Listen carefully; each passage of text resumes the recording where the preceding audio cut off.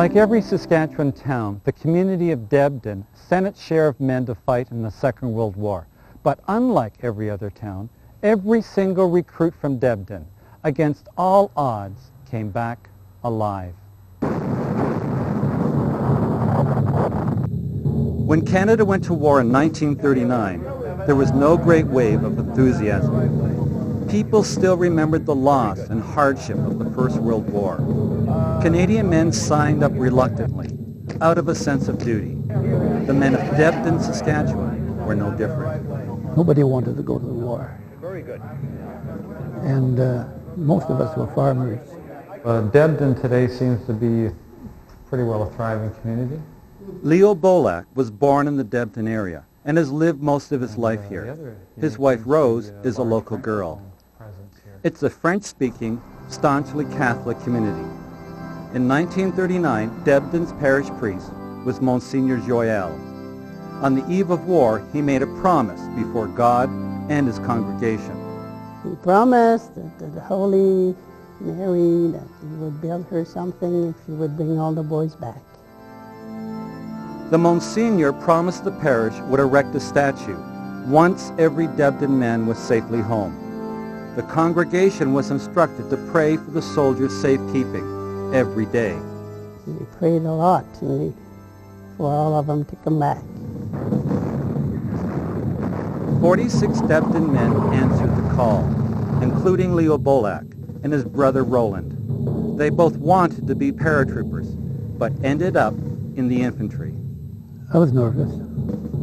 The first night, before I got to the front line, uh, we slept in a cow pasture. And uh, I was 24 years old and took a long time to go to sleep. And tears. Leo fought his way through France, Holland, and Germany. Right to the front line, the front uh, in- infantry, that was the, the front, the real front. Because those guys on the other side, they were fighting.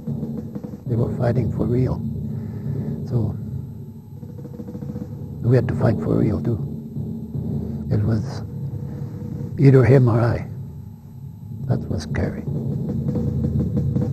Canadian soldiers distinguished themselves on the shores of Italy and the beaches of Normandy. They almost single-handedly liberated Holland. Our sailors kept supplies moving on the North Atlantic, running a gauntlet of German U-boats. Canadian fighter pilots squared off with the Luftwaffe. And RCAF bombing crews dodged anti-aircraft fire over Berlin.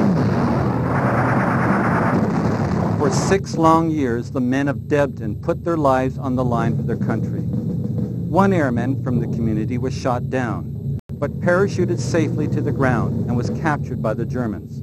Many others had close calls. Leo Bolak was shot in the stomach. I was standing in, in the doorway, and uh, it was a hell of a slap on the side. And uh, I had the guy on the machine gun in front in the, in the woodshed.